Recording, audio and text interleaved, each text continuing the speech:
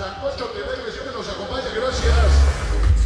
Y bueno, pues nosotros venimos con una misión, traer el sabor. Así es que iniciamos para ustedes, buenas noches. Fun.